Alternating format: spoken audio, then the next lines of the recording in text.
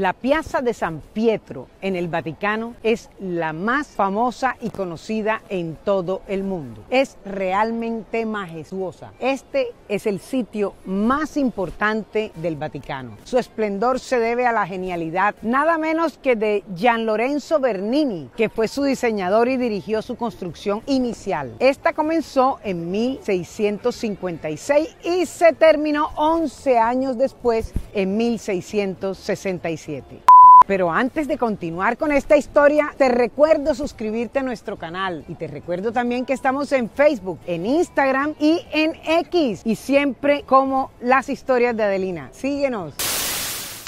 La plaza fue diseñada para acoger el mayor número de fieles posibles cada vez que el Papa se dirige a la multitud desde el balcón de la Basílica de San Pedro. La estructura de esta plaza representa los brazos extendidos de la iglesia, acogiendo a todas las personas que vienen aquí para recibir la bendición del Papa. Esta plaza se construyó como un gran esfuerzo del papado para embellecer y modernizar la ciudad del Vaticano. También fue una manera de manifestar un renacer de la Iglesia Católica durante la Contrarreforma. Pero, ¿y qué es eso de la Contrarreforma? Fue un movimiento de la Iglesia Católica que surgió durante el siglo XVI como una respuesta a la Reforma protestante de Martín Lutero. Fue cuando la Iglesia vio la necesidad de renovarse para hacer frente a las críticas de los cristianos que estaban separados de su seno. Y tal vez lo más importante de destacar durante la contrarreforma fue precisamente la fundación de nuevas órdenes religiosas, en especial la creación de la Compañía de Jesús, comúnmente conocida entre nosotros como los jesuitas.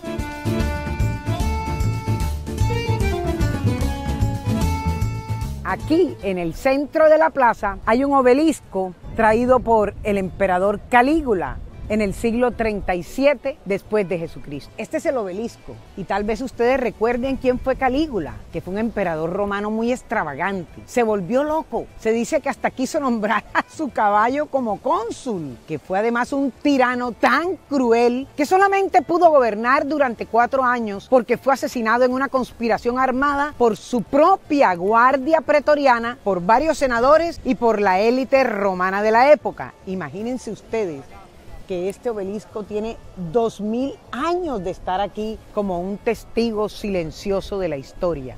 ¿Cuánto tendría para contarnos si pudiera hablar? Aquí hay también dos fuentes que son espectaculares. La primera fue diseñada y construida por Carlo Maderno, un arquitecto barroco anterior a Bernini. Su obra más conocida es haber terminado la fachada de la Basílica de San Pedro, lo que marcó un hito en la arquitectura religiosa de la época, pues marcó la entrada de la iglesia más importante del mundo cristiano. El otro manantial que encontramos en esta plaza fue diseñado por el propio Bernini. Ambas fuentes crean un precioso juego de agua y de luces que fascina a todos los que vienen aquí de noche. Tal vez la imagen más reconocida de esta plaza sea la vista panorámica de la Basílica de San Pedro que estamos viendo detrás de mí. Aquí, desde la vía de la conciliación, como se llama, la amplia calle que nos trae hasta la Plaza de San Pedro. Bueno amigos, hasta aquí este video sobre la Plaza de San Pedro con su belleza atemporal y de profunda significación cristiana